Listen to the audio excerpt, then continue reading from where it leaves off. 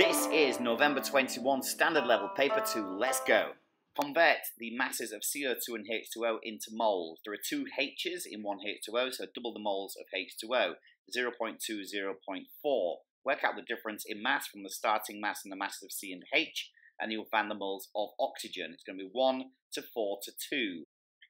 We are then given the uh, molecular mass, which is 88. So C2H4O uh, comes to 44.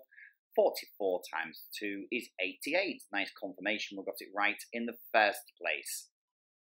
Well done.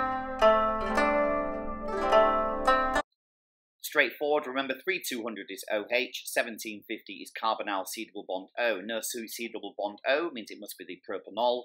If it has just the absence of 3200, no OH, it must be the aldehyde. And if it has both together, it's the carboxylic acid, propanoic acid. Ionization energy increases across period 3. We're adding more protons to the same shell, so it's going to be harder to remove as we go across the period. Perhaps the most contentious question on the paper. It wants P4. I'm assuming it's tetrahedral like this, like a pyramid, actually, pyramid. Where it's a straight lines or the shared areas, I'm not sure. Balance the equation P4, 6Cl2, 4PCl3. Electron domain geometry is tetrahedral. Molecular is trigonal pyramidal. It's NH3 again. There is a permanent dipole here because of the difference in electronegativities between the phosphorus and the chlorine. Enthalpy of formation, product minus reactants. Then what finally happens to the equilibrium at higher temperatures is exothermic as we previously worked out. Therefore it will go to the left hand side.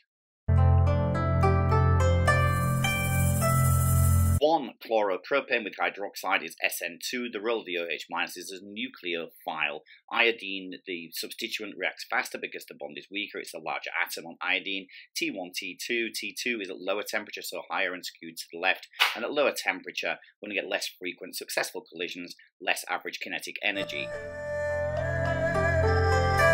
H3PO4 acts as any acid, reacts with hydroxide to make water, neutralization, NaH2PO4 is amphoteric, it's going to react with hydroxonium and hydroxide ions, we can see. Concentration C1V1 is C2V2, see the answer on the screen. Why does it act as a Bronsted-Lowry base? Because OH minus plus H plus is H2O.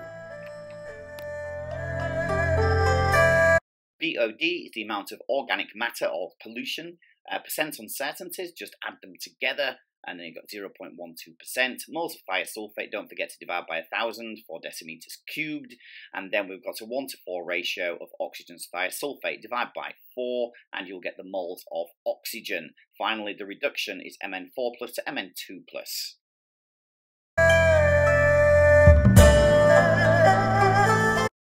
This question, uh, enthalpy of combustion, is Q over N. I got 5474. It then wants propagation and termination steps, chloroethane from ethane and chlorine. You can see them on the screen there. Don't forget termination, two radicals, making a neutral molecule.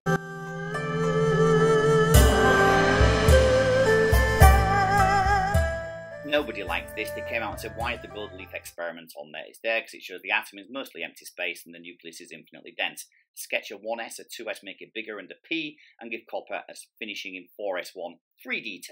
Thank you so much for watching. Don't forget, smash that subscribe button. Have a great day.